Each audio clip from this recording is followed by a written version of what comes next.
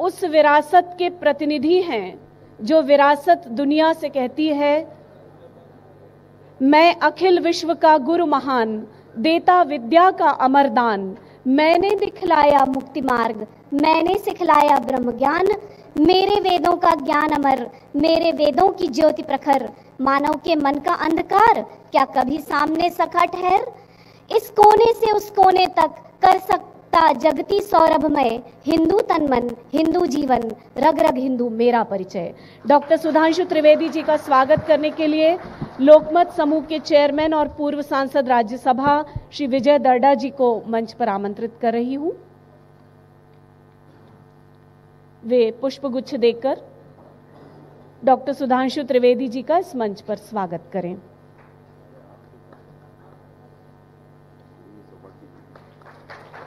हार्दिक स्वागत।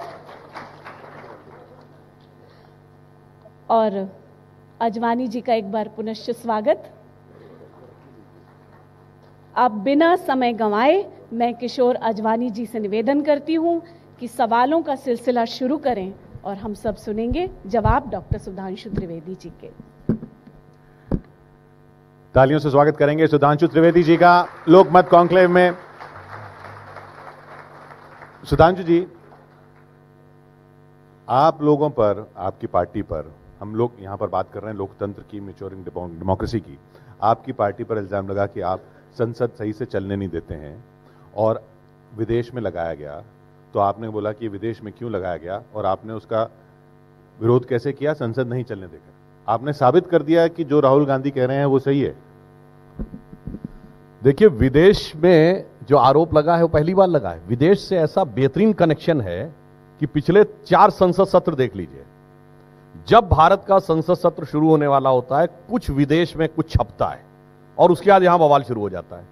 किसान आंदोलन चल रहा था तो कोई ग्रेटा थनबक बोल देगी, उस पर यहाँ बवाल शुरू हो जाएगा। उसके बाद आए तो पेगासिस आ जाएगा। ठीक, संसद सत्र शुरू होने से दो, तीन, चार दिन पहले स्टोरी आती है। और इस बार आए तो बीबीसी की डॉक्यूमेंट्री आ जाएगी। फिर ठीक संसद सत्र शुरू होने वाला था तो हिंडनबर्ग की रिपोर्ट आ जाएगी। तो मुझे लगता है ये क्या है कि उधर से सुर और इधर से ताल ये सुर ताल जो उधर से इधर मिली हुई है ये अपने आप में बहुत सारे सवाल खड़ा करती है। लेकिन इस बार तो इल्ज़ाम आप पर है ना कि आप सत्ताधारी हाँ, दल होकर संसद नहीं चलने दे रहे। उसका कारण ये है। हम्म। देखिए भारत हम सब लोग अक्सर एक वर्ड यूज़ करते हैं we are the biggest democracy यह सत्य नहीं है यह अर्ध सत्य है। प्रधानमंत्री श्री नरेंद्र मोदी जी ने कहा we are the mother of democracy और भारत के हर व्यक्ति को गर्व करना चाहिए कि मैग्ना कार्टा ब्रिटेन में तो आया 1215 में। यहाँ बारहवीं शताब्दी में उससे सौ साल पहले कर्नाटक में भगवान वासवन्ना के अनुभव मंडपों में बैठकर सारे निर्णय होते थे। चोल साम्राज्य में इलेक्टेड रिप्रेजेंटेटिव होते थे। वैशाली का गणराज्य ढाई हज़ार साल पहले था। इवन वैदिक काल में सभा, समिति, विधत और गण, ये लोकसभा, राज्यसभा शब्द वहीं से आया है। और पूरे ईस्टर्न हेमस्फीयर में देखें अगर। आपको पता है कितनी पॉपुलेशन वर्ल्ड में प्योर डेमोक्रेसी के अंडर में थर्टी परसेंट जिसमें सोलह परसेंट भारत है।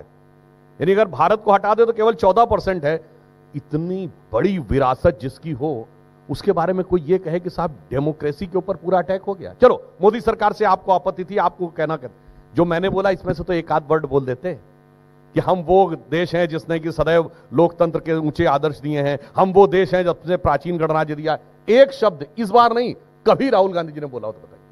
तो कभी नहीं बोला। तो क्योंकि तो, उनको भारत और भारतीयता का ना गर्व तो छोड़िए ज्ञान भी नहीं तो तो फिर ये भी क्यों कहना चाहिए जैसा वो कह रहे हैं कि अगर इतना गर्व करना है तो फिर ये क्यों कहा गया कि भाई ये कौन से देश में पैदा हो गए? 2014 से पहले। हाँ। बहुत अच्छा इन्होंने सवाल वो भी तो विदेश में कहा ना। हाँ वो इन्होंने बहुत अच्छा सवाल किया। आज जब हम अपने विपक्षी लोगों से कहते हैं वो कहते हैं साहब इस देश से कैसे कहा? इसको तो पुण्य भूमि मानते हैं। इस देश को पुण्य भूमि मानते हैं। वो लोग जिन्होंने नारा दिया था India is Indira and Indira is India यानी पुण्य भूमि को एक नेता के बराबर तौल दिया। और किस नेता के बराबर? जिसे हाई कोर्ट ने भ्रष्टाचार और चुनाव में धांधली का दोषी सिद्ध कर दिया था। इलाहाबाद हाई कोर्ट ने इंदिरा जी को इलेक्शन मैल प्रैक्टिसेस का दोषी मान लिया था और उनका चुनाव रद्द कर दिया था। उसके बराबर इंडिया इंदिरा और मैं एक और बात कहता हूँ ये तो वो विचार है जो कहता है ये देश कभी एक देश रहा ही नहीं। इसे तो अंग्रेज़ों ने आके बनाया एट दी मोस्ट अकबर ने बनाया। तो ये तो देश को देश ही नहीं मानते। देश को महान मानना तो बहुत दूर की बात है। आप तो मानते हैं ना। हम तो मानते हैं जानते हैं क्या मानते हैं? इस देश के लिए कहा गया है यह देश वो देश है जिसके लिए कहा गया है, गायंति देव किल गीत कानी, धन्यास्तुते भारत भूमि भागा स्वर्गा पवर्गास्पद भाग हेतु तो भवंति भूय पुरुषा सुरत्वात इसका अर्थ हुआ, यह भारत भूमि धन्य है, देवता जिसकी स्तुति में गीत गाते हैं, क्योंकि स्वर्ग में देवता के पद पर हज़ारों वर्ष रहने के बाद मनुष्य के रूप में इस धरती पर जन्म लेना चाहते हैं, क्योंकि मोक्ष यहीं मिलता है। हम ये मानते हैं इस देश को। और वो क्या मानते हैं? उनकी जानते क्या थ्योरी है? सर जमीने हिंद पर रकवा में आलम के फिराक काफिले बसते गए हिंदोस्ता बनता गया। हम एक सराय हैं जो आके काफिले सेटल होते गए। इसलिए ज़मीन आसमान का अंतर है हमारी सोच देश के बारे में और उनकी सोच देश के बारे में। हम और वो में कौन हो गया? ये कांग्रेस और आप या आ, हम और वो में हैं। बताएँ कौन है? हम्म। जो विशुद्ध भारतीय राष्ट्रवादी और वो हैं जिनके ऊपर अभी पश्चिम की छाया बाकी है।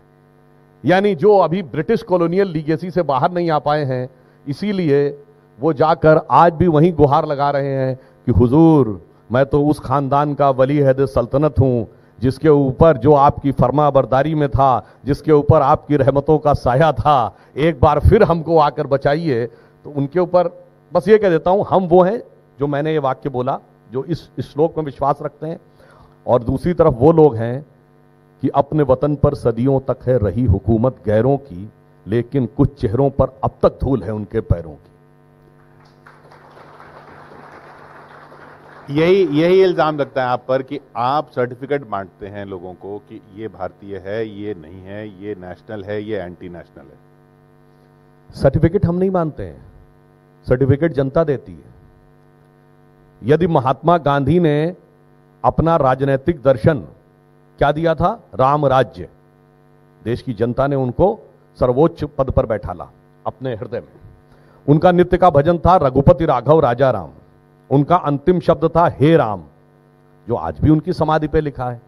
और जब आप बढ़ते बढ़ते वहाँ तक आए कि पहले राम जन्मभूमि के खिलाफ खड़े हुए, गोरक्षक संतों पे गोली चलवाई, फिर राम भक्त कार सेवकों के ऊपर गोली चलवाने वालों के साथ खड़े हुए फिर बाबरी मस्जिद के पक्ष में आके तथा कथित बाबरी मस्जिद के पक्ष में, कोई कोर्ट ने डिस्प्यूटेड स्ट्रक्चर का उसके पक्ष में आ गए और आपने फिर हलफनामा देकर यह कह दिया कि राम तो थे ही नहीं कोर्ट में तो महात्मा गांधी की आत्मा के साथ आपने क्या किया? मैं कहना चाहता हूँ, महात्मा गांधी की तो आत्मा की आपने हत्या कर दी और उसके साथ ही जनता ने आपको छोड़ दिया, क्योंकि जनता तो उस सिद्धांत में विश्वास रखती है कि जाके प्रिय न राम वैदेही तजिए ताही कोटि बैरी सम यद्यपि परम सने।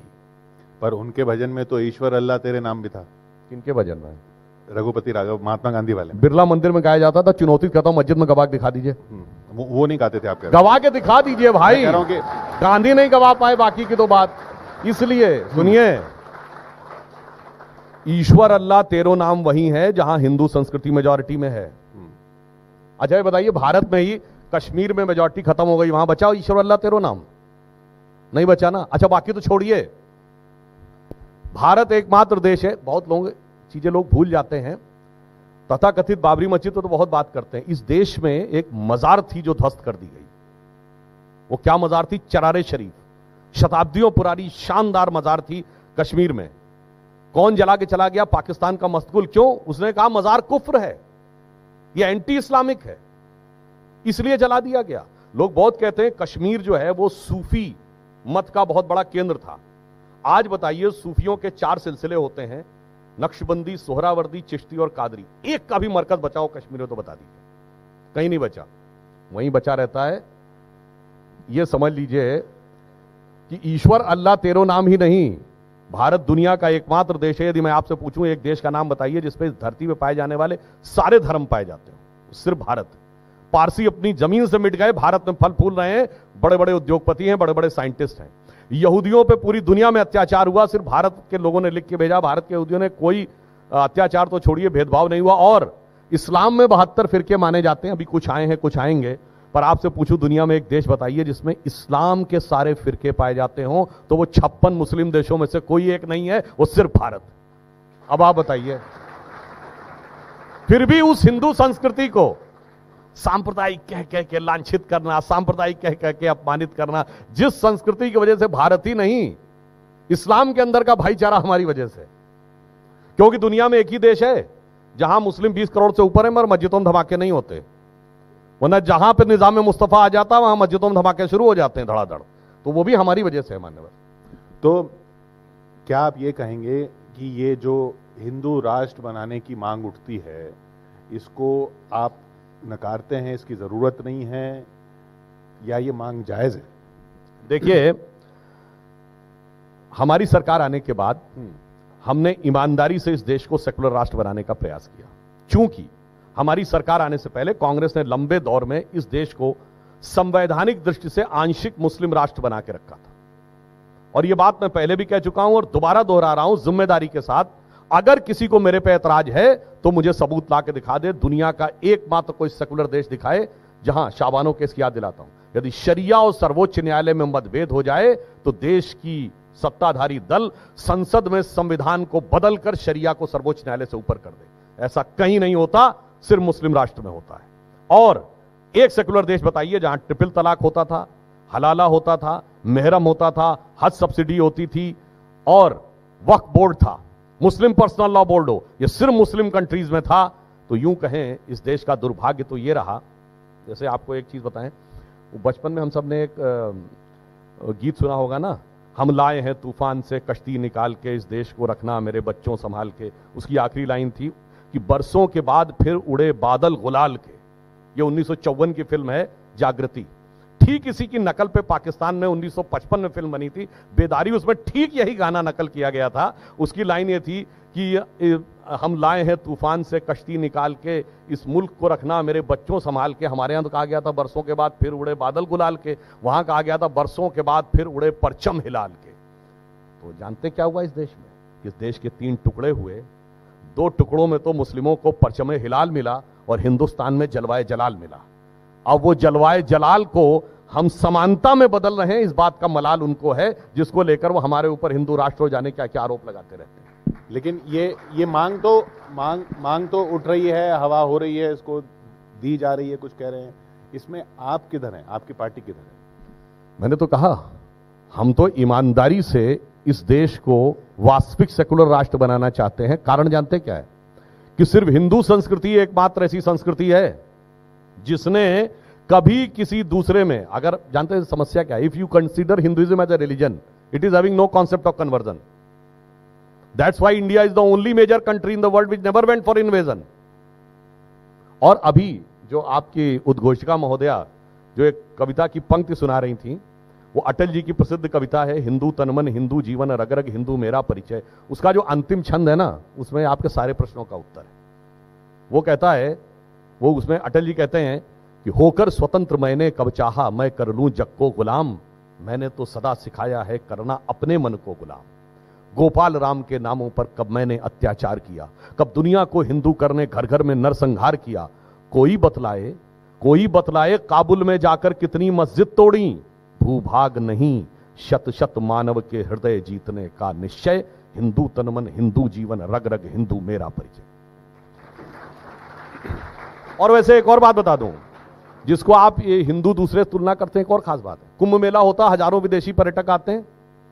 किसी और धर्म में चुनौती पूछता हूँ, वहाँ की धार्मिक यात्रा करने के लिए दूसरे धर्म के लोग जाते हैं क्या? हमारे यहाँ आते भी हैं, और इंपॉर्टेंट बात यह कि उनसे नहीं कहा जाता, तुम हिंदू बन जाओ। ये उदारता की पराकाष्ठा और महानता की पराकाष्ठा हमारे यहाँ।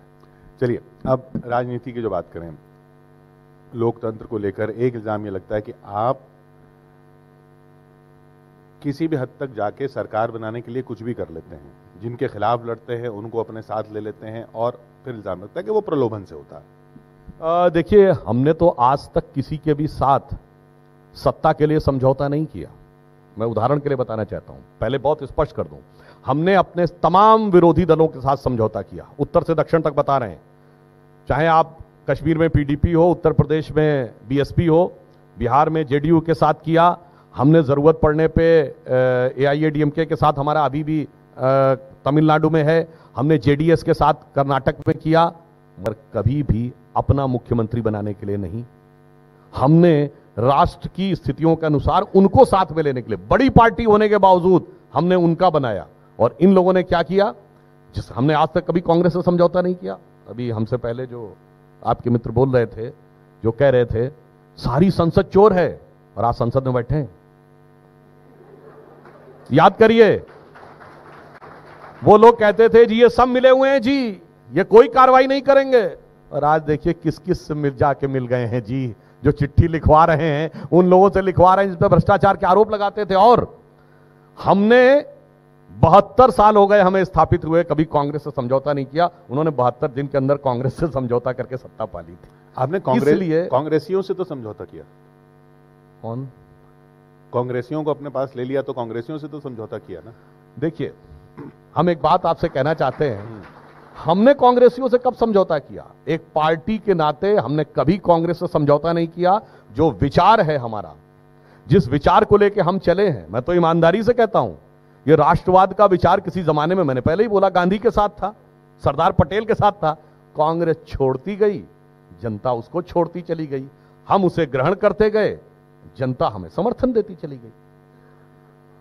जनता उस जनता के चुने हुए कांग्रेस की पार्टी पे चुने हुए नेता जो आपके साथ आते हैं तब सवाल उठता है। ज्योतिरादित्य सिंधिया के साथ आपने अ, मिलके सरकार बना ली मध्य प्रदेश में। वो सर, वो चुनाव तो आप आ, हार गए थे। देखिए यहाँ समस्या जानते क्या है? हमारे साथ नहीं आते। हम्म। आज आप देखें कांग्रेस में पूर्व में हेमंत शर्मा छोड़ के चले गए। हम्म, कांग्रेस के साथ समस्या ज्योतिरादित्य सिंधिया जी का आपने नाम लिया। Pilot ji line of control के ऊपर बैठे हुए हैं कि किस तरफ़ जाके जहाज़ चला जाएगा, वो आप नहीं कह सकते। परंतु कांग्रेस के साथ समस्या ये है कि आज वो हम पे आरोप लगा रहे हैं। उत्तर से दक्षिण तक उनके इतने लोग, विजय बहुगुणा जी आपके रीता बहुगुणा जोशी जी, कितने ही लोग छोड़ के चले गए, हम उसमें नहीं बता रहे हैं। पर ये बताइए, जब मोदी जी और अमित शाह जी नहीं थे, तब भी 1990 के दशक में, ये बताइए, जिस जमाने ममता बनर्जी भी तो कांग्रेस में थी, जगनमोहन रेड्डी भी तो कांग्रेस में थे शरद पवार जी भी तो कांग्रेस में थे, तब काय छोड़ के चले गए थे? सतहत्तर में जब जनता पार्टी की सरकार आई तो जगजीवन राम, देवराज अर्स, मुरारजी देसाई, ये कौन छोड़ के चला गया था? 69 में जब संयुक्त विधायक दल की सरकारें बनी, कांग्रेस राज्यों से बाहर हुई, निजलिंगप्पा, कामराज चौधरी, चरण सिंह, चंद्रशेखर, नीलम, संजीव रेड्डी। मान्यवर, जानते क्या है? कांग्रेस सिर्फ़ सत्ता आधारित दल है। जब जब सत्ता छूटती है, तब तब कांग्रेस टूटती है। यह साठ साल का इतिहास है, जब ना भाजपा थी, ना मोदी जी का तो नाम लेने वाला कोई नहीं था। तो आज क्यों फार्मखा में पर्ची हमारे नाम की फाड़ रहे हैं भाई?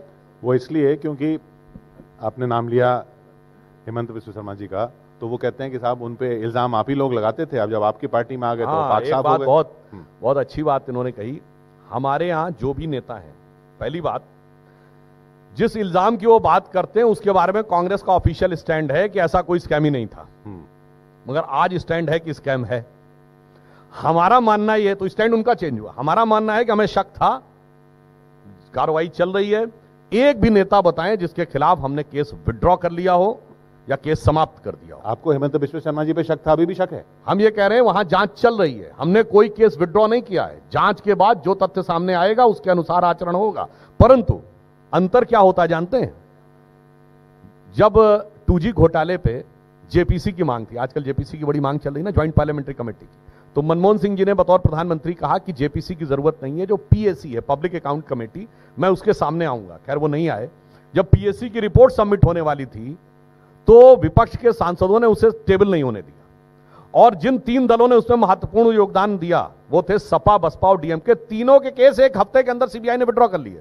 खत्म। केस खत्म। तभी तो कभी कभी वो लोग बोल जाते ना, हमारे हाथ में ईडी, सीबीआई आने दीजिए तो हम बताएँगे क्या होगा।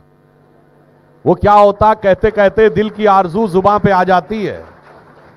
और हकीकत क्या है? जो बहुत कहते थे कि मेरे हाथ में आ जाने दीजिए, हाथ में आ जाने दीजिए।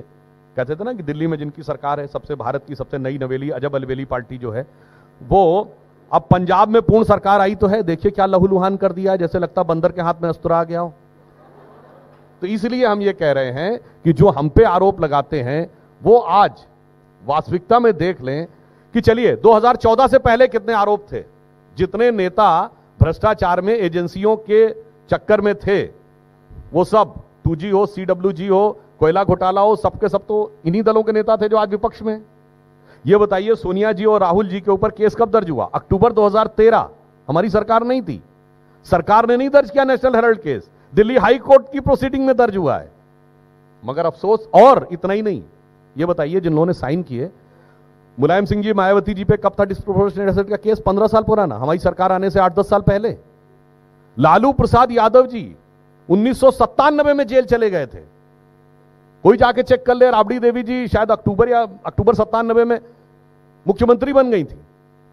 और आज मोदी जी को दोष दे रहे हैं। आप प्रताड़ित नहीं कर रहे हैं उनको? हम कौन सा प्रताड़ित? भेज भेज के।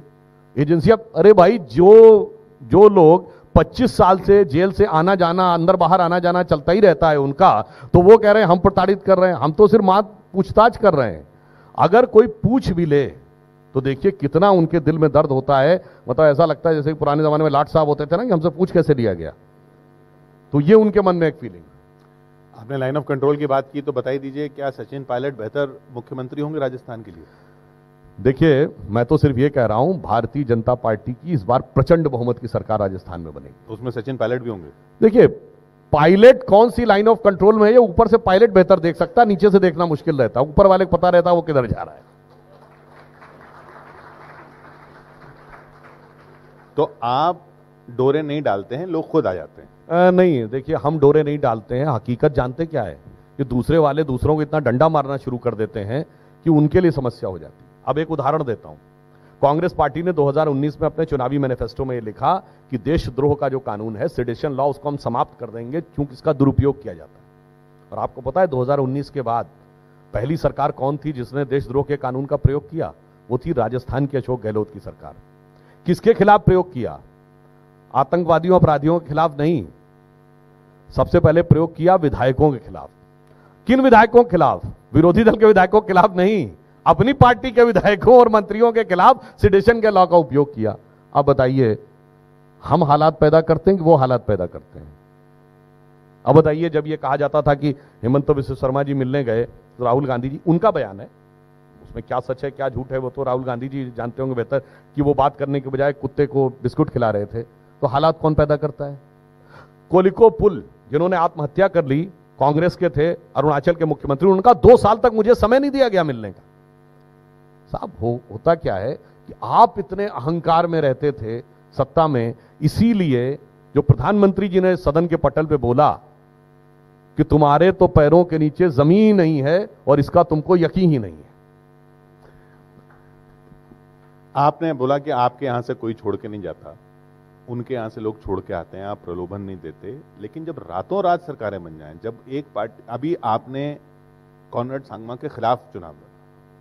पूरा कैंपेन उनके खिलाफ था। और अब आप उनके साथ सरकार बना रहे हैं।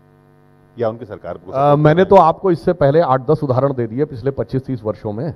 कि हमने विरोधी दलों के साथ बनाया पर कभी अपना मुख्यमंत्री बनाने के लिए नहीं, हैं? हमने उनको बनाया मुख्यमंत्री के खिलाफ आपने चुनाव लड़ा उसको बनाने तो मैंने आपको उदाहरण दिया हम तो मायावती जी की सरकार बनवा चुके हैं हम तो जेडीएस की सरकार बनवा चुके हैं हमने तो पीडीपी के साथ भी समझौता किया था राष्ट्र के हित में जो हमें लगा मगर हमने अपने सेल्फ इंटरेस्ट में नहीं किया कि हमारा मुख्यमंत्री बनाओ मैं याद दिलाना चाहता हूँ लोगों को नहीं ध्यान होगा जब मायावती जी पहली बार सीएम बनी थी उनके 67 एमएलए थे यूपी में हमारे 178 जब हमने कुमार स्वामी को कर्नाटक में जेडीएस में बनाया था उनके 40 एमएलए थे, हमारे 84 और बिहार में जब जदयू से हमारा पहली बार गठबंधन हुआ तब नाम था समता पार्टी। इनकी सात सीटें थी हमारी बयालीस।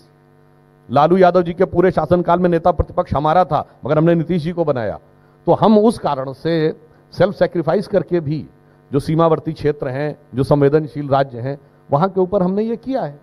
चलिए, एक मैं ऑडियंस सवाल लेने से पहले लोकतंत्र की बात हो रही है पार्टियों के लोकतंत्र की बात होती है तो आप पर ये इल्ज़ाम लगाया जाता है कि साहब अब तो कांग्रेस कहती है कि हमने तो अपना अध्यक्ष चुना है आपके तो अध्यक्ष चुने ही नहीं जाते कहाँ से आते हैं पता नहीं। देखिए कांग्रेस ने अपना अध्यक्ष चुना है ये कितना अद्भुत लगता है।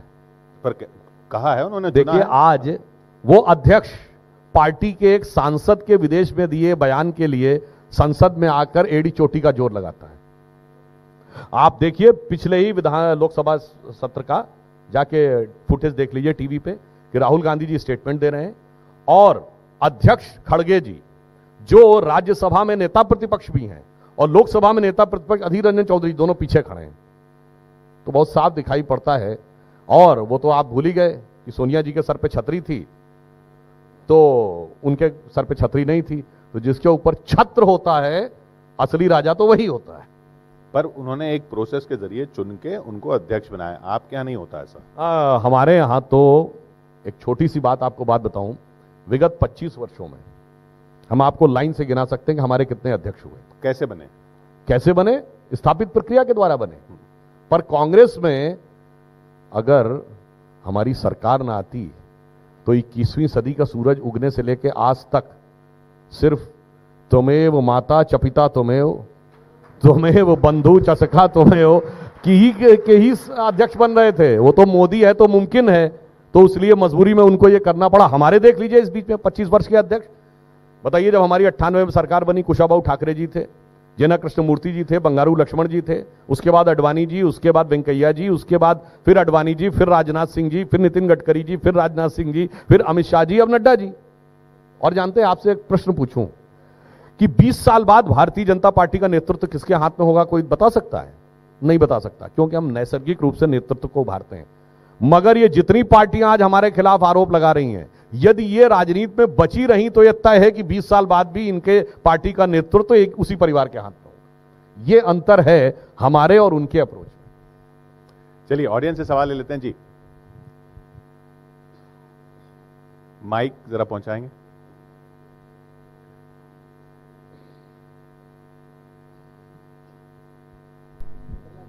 Hello, hello.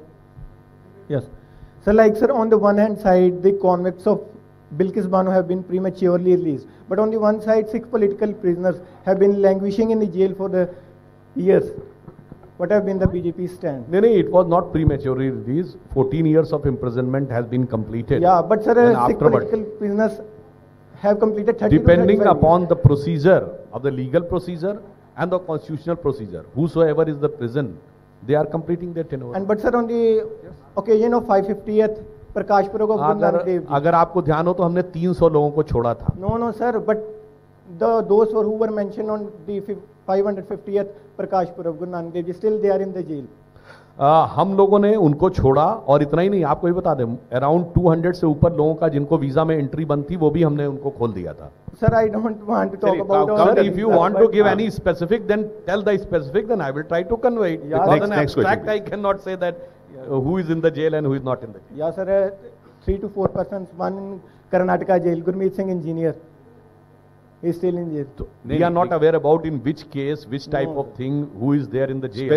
law and judicial process is there to take the remedy of So, but why selective justice for only uh, six? सुनिए नहीं नहीं नहीं सुनिए सुनिए सुनिए देखिए यू- यहाँ पे आर्गुमेंट आपने अपना एक सवाल रखा उन्होंने अपना अपना पॉइंट ऑफ़ व्यू रखा। आप उससे अग्री करें ना करें वो एक अलग बात।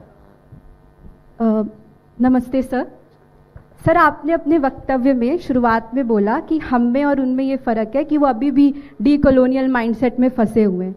तो आपके अनुसार जिस अभी जैसा समय चल रहा है उसको देखते हुए, आपके अनुसार ऐसा क्या तरीका है, ऐसा क्या उपाय है कि आप इस डी कॉलोनियल माइंडसेट वाले लोगों को भारत की स्वदेशी विचारधारा में वापस ले आ पाएँगे, लेकिन उनको ऐसा ना लगे कि उन पर यह थोपा जा रहा है या ज़बरदस्ती उनको लाया जा रहा है?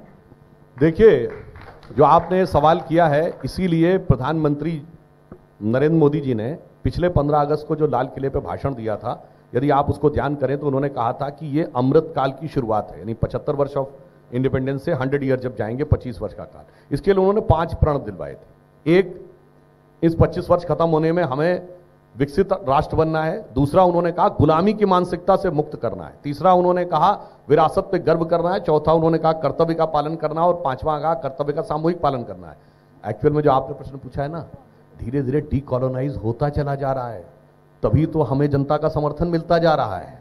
जो जो इसीलिए मैं एक और बात कहूँ थोड़ा सा फ़ूड फॉर थॉट है किसी को अटपटा भी लग सकता है।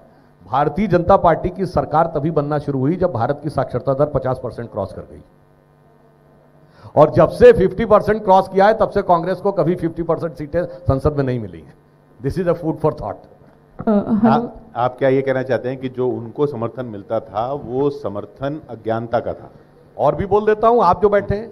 जब से ओपन मीडिया आया है, भाजपा की सरकारें बनने लगी हैं। जब से कंट्रोल्ड मीडिया था, तब तक उस जमाने में सरकारें नहीं बनती थी। आपसे देखिए इलेक्ट्रॉनिक एरा कब से आया सर? 96 97 से हमारी सरकार कब बनी? तेरह दिन के लिए छियानबे में, उसके बाद अट्ठानबे में। तो क्या हुआ, जैसे जैसे डेमोक्रेसी मेच्योर हुई है तो अब मैं इसमें किसी पार्टी उसकी बात नहीं कह रहा हूँ। वो एक, मैं आपको एक सिर्फ़ फैक्ट बोल देता हूँ। लंदन का अखबार है द गार्डियन, क्योंकि आजकल लंदन की बहुत चर्चा चल रही है। भैया जी गए हुए हैं लंदन में, सेंट मिलाने चंदन में। तो वहाँ के अखबार द गार्डियन ने अपने एडिटोरियल में 18 मई सन 2014 को लिखा, कि 16 मई 2014 का दिन, जिस दिन हमें मोदी जी के नेतृत्व में स्पष्ट बहुमत मिला था, उसमें लिखा कि the day should be known in Indian history as the day on which the Britishers finally left India. क्योंकि उसने कहा कि आज़ादी के बाद लंबे समय तक उस विचार का शासन भारत पे रहा, जो ब्रिटिश कॉलोनियल लीगेसी को रिप्रेजेंट करती थी। पहली बार एक ऐसे विचार के हाथ में शासन आया जिसका ब्रिटिश कॉलोनियल लीगेसी से कोई मतलब नहीं है। क्योंकि अब ये इक्कीसवीं सदी की नई पीढ़ी जब आई है और वो लोग हैं जिन्होंने कि ब्रिटिश कॉलोनियल लीगेसी का माइंडसेट से अब मुक्त हैं, इसलिए अब भारत अपने नेचुरल नैसर्गिक प्रभाव में आ रहा चलिए सर- एक आखिरी सर, एक आखिरी सवाल। एक आखिरी सवाल। सर आपने इस्लामिक भाईचारे के बारे में बात की कि भारत में मस्जिदों में धमाके नहीं होते लेकिन मस्जिद तोड़े ज़रूर जाते हैं। तो अगर रेडिकलाइजेशन की बात हो रही है तो उसका बीजेपी कोई उपाय बात कर रही हैं? बाबरी मस्जिद। जिसको कोर्ट ने डिस्प्यूटेड स्ट्रक्चर कहा। सर अच्छा ये तोड़े तो गए थे ना। जिसमें सत्तर साल से बुत रखे हो वो मस्जिद है या बुतखाना तो सर सरकार नहीं ये बताइए। सर लॉ को अपने हाथ में लेना भी तो सोल्यूशन नहीं होता है खुद बताइए। अच्छा चलिए। ब्रिटिश डॉक्यूमेंट्स में जो पहला ऑफिशियल ब्रिटिश रिकॉर्ड है, वो है नवंबर 1858 जब फैजाबाद के थानेदार ने ये रिपोर्ट दर्ज कराई कि 50 निहंग सिखों ने आकर कब्जा कर लिया है। उन्होंने दीवारों पर राम नाम लिख के हवन किया है और जानते मस्जिद का नाम क्या लिखा? मस्जिद जन्म स्थान इवन औरंगज़ेब के रिकॉर्ड्स में भी मस्जिद जन्म स्थान लिखा है। तो भाई ये किसका जन्म स्थान था? मुगल डॉक्यूमेंट से लेकर ब्रिटिश डॉक्यूमेंट तक बता। सर मैं आपकी सर बात इनके मानती सर इनके क्वेश्चन सर इधर। सर, मेरा एक सवाल है। Sir, sir. चलिए एक लास्ट बिल्कुल लास्ट सर सर सर इधर। सर मैं पूछना चाहता हूँ कि इनके क्वेश्चन के ऑल्टरनेट में ही बोलूँगा। सर कि इनने कहा कि आप लॉ एंड ऑर्डर की मतलब अ, उसको अच्छे से फॉलो नहीं कर रहे हैं। तो इन केस ऑफ़ दैट कि आपके सामने सर राघव चड्डा जी ने बोल के गए कि दो दिन के अंदर हमको दीजिए सीबीआई और ईडी हम दिखा देंगे कि क्या होता है। तो सर, इस मामले में पूछना चाहता हूँ कि आपने क्या ईडी सीबीआई और जितने भी इंडिपेंडेंट बॉडीज हैं, आप, आपने उनको इतना फ्लेक्सिबल बना दिया कि कोई भी आके यूज़ एंड थ्रो करके जा रहा है? और जैसे इसकी बात है सर, इस पर आरोप लगा आपके सरकार पर कि आप इसको यूज़ कर रहे हैं। तो इसका एक गलत इम्पैक्ट दुनिया में भी पड़ता है। जैसे कि हमको अगर ग्लोबल रिलेशंस की बात करें तो इन्वेस्टमेंट फॉरेन डायरेक्ट इन्वेस्टमेंट की भी आप, बात आप, होती है आप कह रहे हैं कि तो- विपक्ष जो है देश को बदनाम कर रहा है या राहुल गांधी हैं। देखिए पहली बात तो हम ये कहें जब हम विपक्ष में थे हमने जितने आरोप लगाए पार्ट कांग्रेस पार्टी ने कभी एक्सेप्ट नहीं किया सब कोर्ट से एक्सेप्ट हुए। मैंने बोला ना नेशनल हेराल्ड केस पे कोर्ट में केस है। आप कोर्ट में जाइए अगर आपको लगता है गलत है। कोर्ट आपको कोई राहत नहीं दे रहा है और उसके बाद आप आरोप लगाने का प्रयास करें। अच्छा छोटी सी बात आपने राघव चड्ढा जी का ज़िक्र किया लिक्वर पॉलिसी के ऊपर मुद्दा है। सिर्फ़ दो विषय कह रहा हूँ। ये कौन सा देश का शिक्षा मंत्री है जो ये पॉलिसी बनाए कि एक बोतल पे एक बोतल फ्री? अच्छा और उसके बाद वो पॉलिसी विड्रॉ कर ली जाए। अब ये तो हुआ नैतिक प्रश्न। और टेक्निकल क्या हुआ? आपने पॉलिसी विड्रॉ क्यों की भाई? और विड्रॉ की तो उसको डिफेंड क्यों कर रहे हैं? ये अपने आप में कंफ्यूजन दर्शा रहा है ना? और उन्होंने कहा, दे दिया है तो मैंने बताया तो पुलिस तो दे दी गई है, पंजाब में देखिए क्या हो रहा है। थैंक यू सर चलिए बहुत बहुत शुक्रिया आपका, सुधांशु जी, हमारे साथ यहाँ जुड़ने के लिए, लोकमत नेशनल कॉन्क्लेव में अपनी बात रखने के लिए, लोकतंत्र पर अपनी बात रखने के लिए, लेकिन अंत में जाते जाते आपसे वो स्रोत ज़रूर सुनना चाहेंगे, जो आजकल वायरल है और जिसके ज़रिए कहा जा रहा है कि सुधांशु जी ने आईना दिखा दिया उन लोगों को, जो कहते हैं कि इस देश की संस्कृति जो है, वो असल में सेकुलर होते हुए भी हिंदू राष्ट्र नहीं जो आप जो शिव बताते हैं। नहीं नहीं नहीं, देखिए, ये देश की संस्कृति तो इतनी महान है। तो मैं सिर्फ़ एक संस्कृति के लिए युवा पीढ़ी भी बैठी हुई सिर्फ़ कहूँगा कि आज़ादी का अमृत महोत्सव है। तो मैं एक दूसरी पंक्ति कहता हूँ कि याद रखिए, हो गए हैं स्वप्न सब साकार, कैसे मान ले हम? टल गया सर से व्यथा का भार, कैसे मान ले हम? वेश वाणी तत्व दर्शन दूसरों का यह सभी ले। वेशवाणी तत्व दर्शन दूसरों का यह सभी ले, विकृति को हम ग्रहण करते, निज प्रकृति को आज भूले।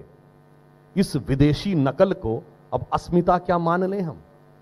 हो गए हैं स्वप्न सब साकार कैसे मान ले हम? टल गया सर से व्यथा का भार कैसे मान ले हम?